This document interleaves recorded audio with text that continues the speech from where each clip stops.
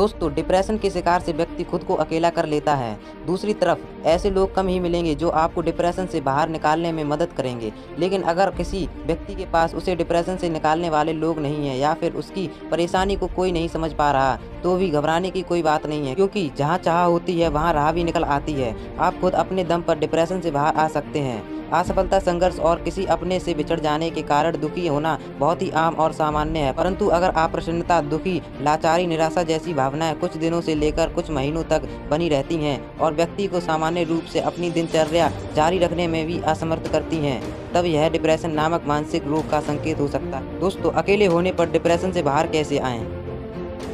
आपको मेडिटेशन करना चाहिए। इसका अभ्यास करने से दिमाग से नकारात्मक विचार निकल जाते हैं। देहात्म के सहारे आप खुद को अकेला नहीं समझते और धीरे धीरे उभरने लगते हैं।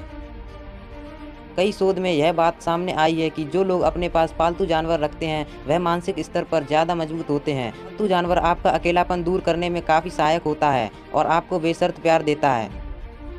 प्रकृति और पेड़ पौधों से प्यार करना दिमागी शांति के लिए काफ़ी फ़ायदेमंद है। धीरे धीरे प्रकृति की सहनशीलता आपके अंदर प्रवेश होने लगती है। आप खुद को गार्डनिंग में व्यस्त रख सकते हैं और नकारात्मक विचारों से दूरी बना सकते हैं।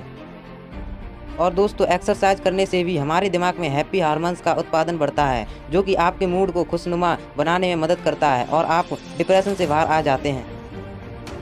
म्यूज़िक। म्यूज़िक सुनना भी एक मददगार टिप है, जो आपके तनाव और डिप्रेशन को कम करने में मदद करता है। आप म्यूज़िक की सहायता से अपना मूड बेहतर बना सकते हैं और इसकी मदद से मेडिटेशन भी कर सकते हैं। बस ध्यान रखें कि हैप्पी और प्यारे म्यूज़िक सुने, दर्द या गम वाले नहीं। दोस्तों, ऐसी और अमेजिंग वीडियोज़ के लिए इस वीडियो को लाइक से सब्सक्राइब। मिलते हैं अगली वीडियो में।